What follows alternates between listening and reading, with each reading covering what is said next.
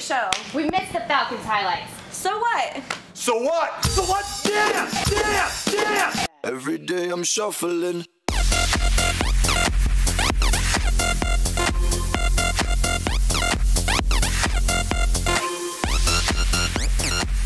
Hey, welcome back to the Prep Pigskin Report. Uh, some You're- things, you're great. some things we just. Hey, just a quick shout out to some folks we have in the studio here. Chuck from Homestead Bank and the Grossmont High School JV football team hanging out with us. Max, Kate, and Chris, Isaiah. Thanks a lot, guys. Wave to the crowd at home. Wave to mom. There you go. All right. Welcome back to the Prep Pigskin Report. First and 15, a full 15 minutes before the main appetite, our main entree.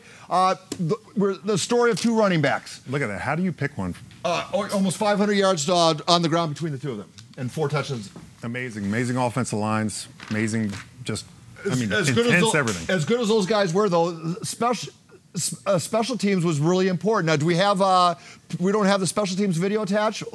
All right. Well, let's just talk about it. Two block punts and then the field goal by the young man. Uh, t- talk a little bit about the importance of special teams.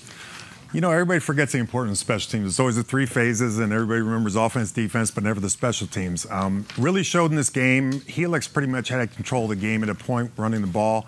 Blocked a punt, went for six. At the end of the game, it, it ended up not being as close as it should have been, but a field goal, clutch field goal, 36 38 yarder with three minutes left, two minutes left, um, pretty much sealed it for Torrey Pines. All right. So we were talking about it earlier in the game. By the way, uh, you said uh, you projected Noah as being the big pig winner. I did. You, you, I did, I you might be you might be right there. We'll find out soon enough.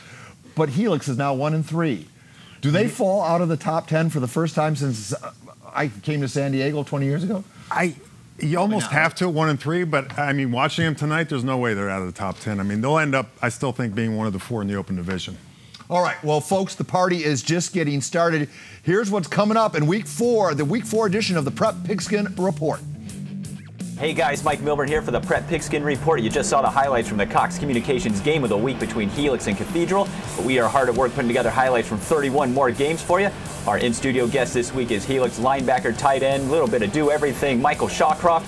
He's staying at home going to San Diego State. Rocky Long's going to really like him, and you're really going to like that interview, and you're really going to like tonight's show, which starts in two minutes.